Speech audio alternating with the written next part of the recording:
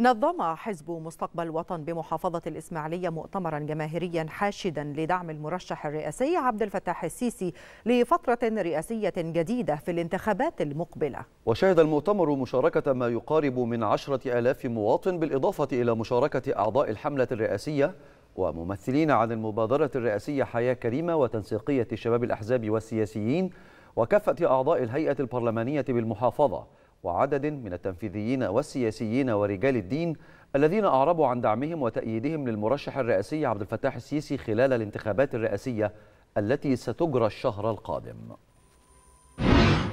طبعا بقول لسيادة الرئيس دي أقل حاجة نعملها لك سيادة الرئيس وإن شاء الله الفترة اللي جاية هيتحقق كل الكلام دون في الكتلة الانتخابية إن شاء الله رب العالمين ونقول للعالم كله أدي إحنا ورا قيادتنا على طول إن شاء الله. مظاهرة حب ما حصلتش قبل كده. في حب فخامة الرئيس عبد الفتاح السيسي على لتأييده الكامل البحث الشامل في الرئاسه في فترة رئاسه جديدة.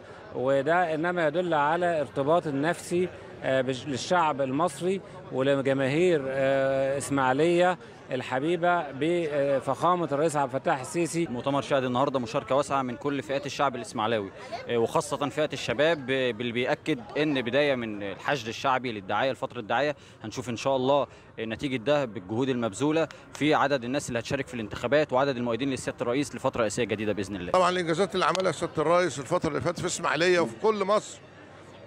كبيرة جدا كتير جدا ما نقدرش نحصوها يعني.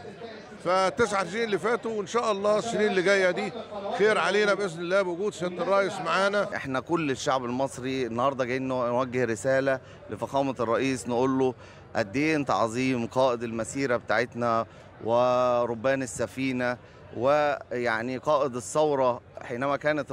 الثورة شرف لكل المصريين فالنهاردة الشعب الإسماعيلية جاي يقول له إحنا جاهزين لرد الجميل إحنا محتاجينك نكون وراك علشان مستقبل أفضل علشان إن شاء الله الأمن والأمان والاستقرار لمصر. وشعب الإسماعيلية بطبيعة الحال طول عمره داعم للقيادة السياسية ومؤمن جدا بتوجهاتها واللي لمس آثارها الإيجابية على أرض المحافظة اللي تمثلت في مشروعات ضخمة سواء في البنية الأساسية أو في مجال الإسكان والطرق والصحة. محافظة الإسماعيلية كانت من أولى المحافظات اللي دخلت منظومة التأمين الصحي الشامل.